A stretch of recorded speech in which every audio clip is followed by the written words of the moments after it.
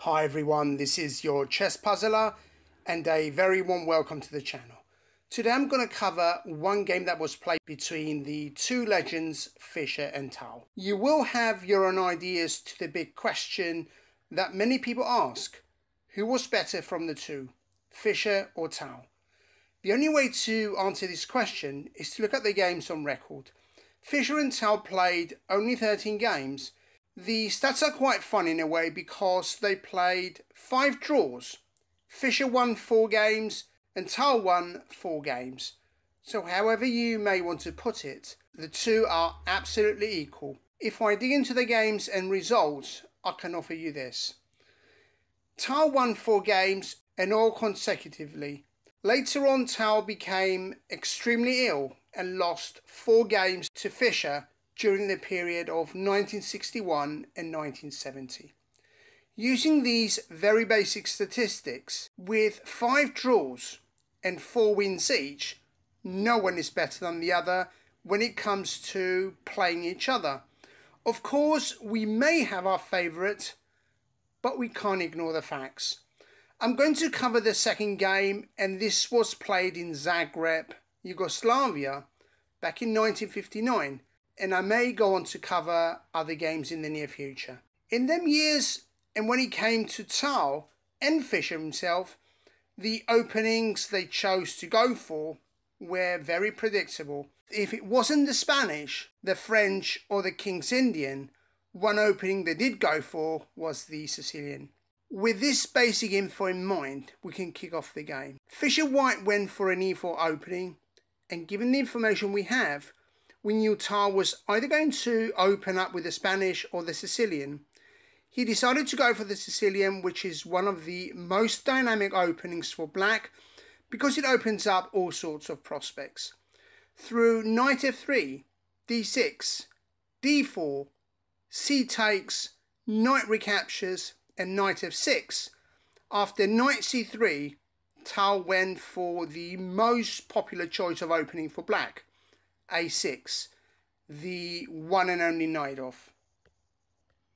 The Najdorf accomplishes to stop any invasion on b5 and keeps white at bay. Fischer went for the Sozin attack, a move characterized by getting the bishop in on c4, a move that is extremely aggressive. And before I forget, this bishop to c4 move is also known as the Fischer-Sozin attack of the Najdorf and you don't need an explanation where we got this name from. Bishop c4 can easily invite an attack on the bishop through an equally aggressive counter move by bringing in the pawn on b5, a move that normally forces the bishop back to b3. The most normal response to this bishop c4 move is to simply close up on e6, and this is what Tal went for in the first place. Fischer moved on by getting his bishop out of any b5 attack and let's call this move one of a prophylactic nature. Tal in turn got the bishop out and was ready for short castles. Fischer launched the pawn to f4, a move that prevents black from coming into e5. In fact, this move doesn't stop e5 because if black wants to go for it, he can without being necessarily worse off. The move to f4 will become apparent very soon in case you're wondering why Fischer went for this move in the first place. After castles, here we have the reason for that f4 move, queen f3. And what does this move do? Let's see. After queen c7 and now castles, black ideally wants to attack on the queen side by shooting off his pawn to b5 and later on developing this bishop on the diagonal. And this is exactly what Tal went for. He got off with b5, but Fischer was not interested in what Tal had to say on the queen side. Fischer went for the real business and started to create an attack on the king side and did this with f5. Our first big question is to ask whether it is worth taking the pawn on f5. If black does, white can come in with some forcing moves, namely knight d5, and once the exchange takes place, the bishop on d5 now threatens the rook in the corner. Black can either defend the rook by getting the bishop in on b7, and here is where the queen move to c7 makes perfect sense. But if we come back to this move, does black have anything better to go for instead in 2 1 and pause. I think so, but we can try it out just in case. Bishop f6. If you take the rook, a rook is a rook, but with a knight coming off with a check, bishop e3 to block the check will bring about the same bishop to capture on b2, and what now? Rook b1 will get the bishop in on e5, and if you now take on f5, after knight d7, bishop back to d5, and rook e8, is this position equal? I think it is because though black is missing a rook, he has plenty of compensation. I'm not sure if I run this by any engine, it will show me an eval of any significant value. If we now return to this position, and as the game progressed, after Fischer went for f5, Tal attacked the knight on c3, and allow me to explain the queen to f3 move from earlier. With the threat on the knight, and with the knight being ejected to a4, if the queen was not an f3, the knight would easily have come in, and once this e4 pawn is taken, white will lose the battle for the centre. The attack on the knight by Tal did not stop here. Once the knight got on a4, Tal intensified the attack and now launched at this d4 knight through e5, sending the knight to the only legal safe square he could find, e2. And just look how from a very decent position, Fischer is beginning to find himself in trouble. Tal got the bishop on b7 attacking the e-pawn, and as a result, Fischer had to get the knight on g3, which is the only move that saves the pawn on e4. Tal developed his knight to d7, and though he could have placed the knight on c6, which looks like a more natural move, he reserved the c6 square for another piece. Fischer blocked all the check avenues to the king by getting the bishop in on e3, and with now the bishop coming in on c6, Fischer moved for the second time his bishop, and this time on f2. So what did Fischer see here, which others may have a slight difficulty seeing? The very bishop move to f2 is purely a defensive move.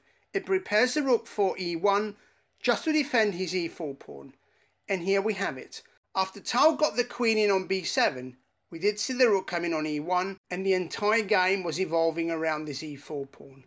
Tal having gone for this e4 pawn and Fischer defending him as much as he could, since everything he tried just did not work, he went for a slightly different variant he came up with d5, a superb move. Fischer calculated his best options and just took the pawn on d5. I am not sure he had any other choice.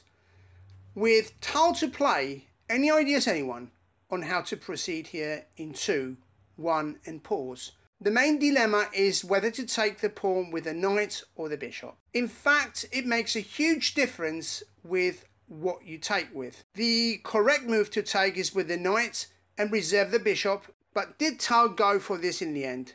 Yep, he had no problems finding this. With the knight sitting in on d5 and the bishop sitting on c6, Tal can do anything because there is a lethal discovery on the queen. Fischer blocked the discovery by getting his knight in on e4, but again, he has a problem. But can you see what this problem is? His last five moves have been all defensive, and this is the problem. Getting the knight on e4 does nothing. g5 is out of bounds, but so is d6. The only possible option is a chance to get the knight on c5. But what knight would this be? The a knight, the e knight, or even could Fischer be looking at getting his bishop on this square at some point in the game? Once Tal fired off the knight to a new outpost, the alarm bells start ringing. C4 was a desperate attempt to confuse Tal, but just look how precise Tal is. He came up with the best possible move in the game, and though it doesn't look like much, we shall see in a few moves how valuable this move was. Anyone? G6. Tal was not expecting Fischer to capture this pawn, but to his surprise he did. And how do you move on from here with the black pieces? Tal could have recaptured, but he didn't. He came up with f5, an outstanding top move. Fischer went for g7, and now Tal had to consider taking the pawn or moving his rook out to f7. Tal took the pawn and just allowed the queen to come in with a check. After the king was tugged in to the very corner, the knight came in on c5 and once the pieces were exchanged, the queen stepped out of any danger and onto c7. This queen c7 move does more than meets the eye. It allows the bishop to take the pawn on g2 and this move exposes the knight on c5. But let's stick to the game. Fischer came up with queen e3 to increase the pressure on the e-pawn, but did this bother Tal? Taking on g2 is perfectly okay, but once the queens come off, after rook g8, it spells disaster for white. Tal did consider all his options and just prevented the taking on his e-pawn by getting the rook into the picture. And what did Fischer come up with after the rook came in support of his e-pawn? Fischer could not shake the very strong knight on f4 and wanted him out of the picture at all costs. He sacked his rook by placing him on e2. With two additional pieces coming off, Tal was determined to finish off the game as soon as he could. He intensified the attack by removing the pawn on g2 and we know if Fischer retakes with a queen, his queen will drop when the rook comes in on g8. Fischer did nothing here and left the bishop sitting on g2.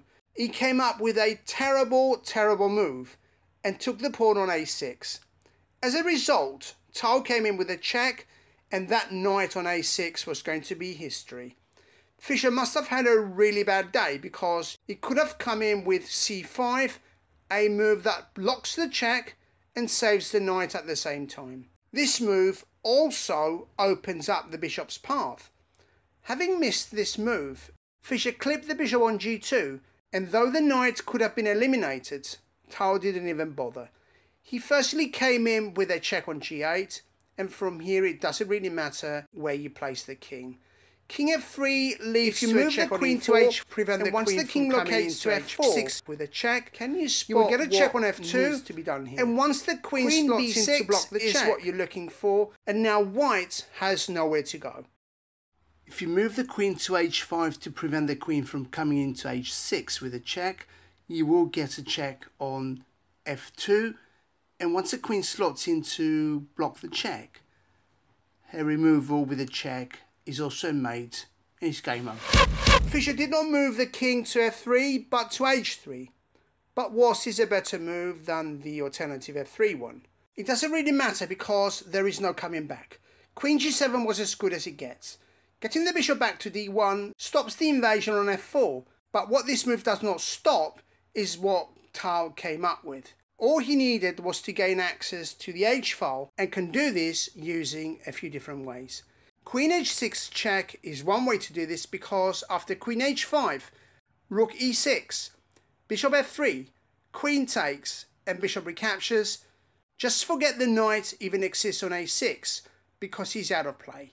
Rook h6 is much faster and more efficient. King h4 leads to a rook check on g4 and now with the king being pushed to h3, black can mate with rook takes bishop. Coming back to this position, Tal didn't even need to stick his queen in on h6, but did go for the rook on e6, and Fischer here did not even bother to make another move and just resigned. A brilliant attack on one of the best chess players around at the time, and it had to take an equally brilliant player to come up with such a vicious attack. Having gone for the most solid defense black can come up with, the Najdorf has proved time and time again is an extremely sound response to neutralizing any attack white might come up with. Things began to go south for Fischer when he allowed the attack on his knight on move what? 11 and gradually with move after move, Tal forced Fischer into full defense. Much of the game rested on the e4 pawn. Once the pawn came off, the game got heated up and just look how with every move, Tal takes down one of the greatest chess players of all time. The game has not been of an extremely high quality one, but it had its moments. Anyhow, I need to find my stop button, but I promise to bring up a far more exciting game. But until then, many thanks for taking part and many, many, many thanks for watching. This was your chess puzzler.